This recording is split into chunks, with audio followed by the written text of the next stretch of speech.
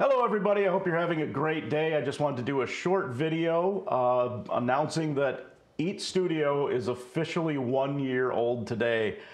I feel like I was just breaking ground on this place yesterday. Uh, now, most of you know my story, but some of you don't, so I wanted to give kind of a brief overview.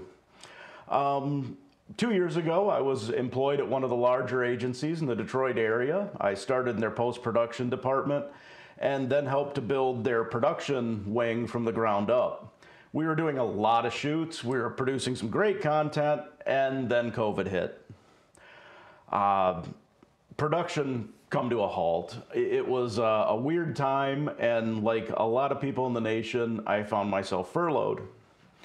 So at that point, I decided I'm going to take my experience, I'm going to try to step out on my own and build a business, and so Eats Photography was born. Now, when I started Eats, I was actually working out of a spare bedroom in our home. Uh, very quickly with freelance coming in and you know getting products sent to the house and things, I very quickly outgrew that space. Uh, also, I was outgrowing my wife's patience, so I knew I needed a dedicated studio area. I looked around at buildings in the area and quickly found that that just wasn't going to be cost effective. Uh, decided to go ahead and build a studio right here on my property.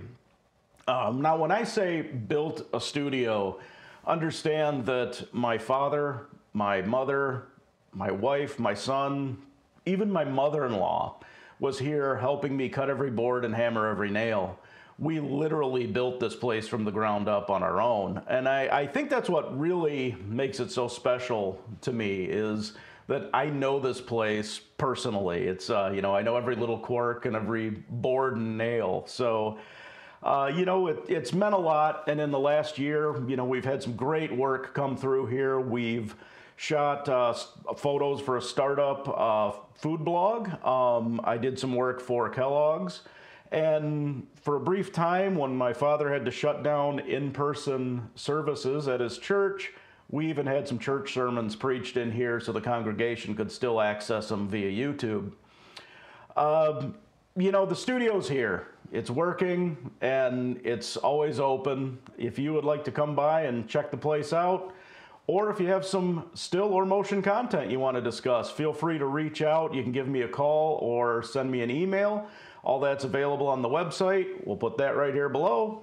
And, you know, thanks a lot for the help I've had and the people that have made this possible. Um, it's very humbling that I've been able to do this on my own. And happy anniversary to the studio. I can't believe it's been a year already. You guys have a great day.